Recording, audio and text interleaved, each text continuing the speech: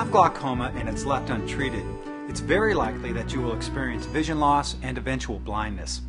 Fortunately, there are treatments for glaucoma. Your ophthalmologist will monitor your condition and will recommend the best treatment option for you.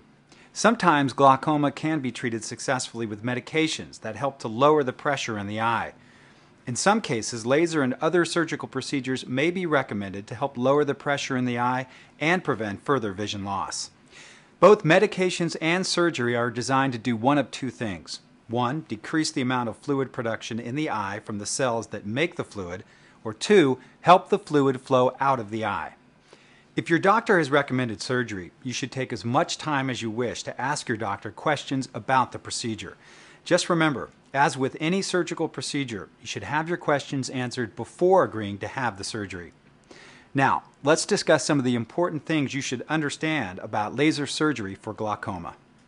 Laser iridotomy is a type of laser surgery for people who have or who may develop narrow angle glaucoma. A laser is used to make a small hole in the iris, the colored part of the eye. This hole should restore normal flow of fluid within the eye and reduce the eye pressure. This is equally important if you're having an acute narrow angle glaucoma attack or if you're at risk for having such an attack. Laser iridotomy is usually performed in your ophthalmologist's office or an outpatient surgery center. The procedure usually takes about 5 to 10 minutes. Anesthetic drops are placed in your eye first. The laser machine looks similar to the examination microscope that your ophthalmologist uses to look at your eyes in each office visit. You'll experience a flash of light with each laser application. Most people are comfortable and do not experience any significant pain during the surgery, though some may feel a little pressure in their eye during the laser procedure.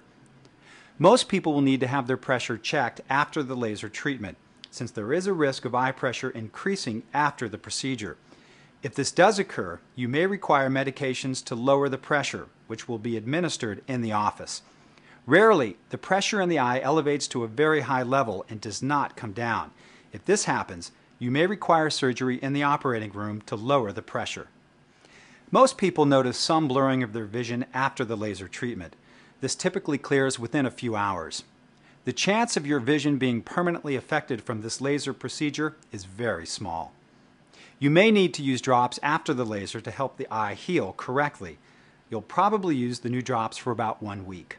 Risks associated with laser iridotomy may include increased pressure in the eye, possibly requiring medication or surgery to lower it, inflammation in the eye, cataract formation, bleeding, light streaks, scar formation between the iris and lens of the eye that prevents the pupil from moving correctly, damage to the cornea or retina from the laser light, and need for repeat laser surgery to reopen the hole in the iris.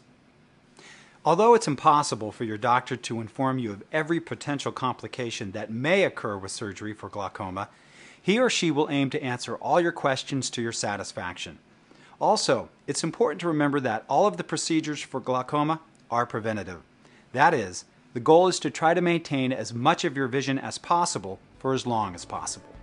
While some people may experience side effects from medications or surgery, the risks associated with these side effects should always be balanced with the greater risk of leaving glaucoma untreated and losing your vision.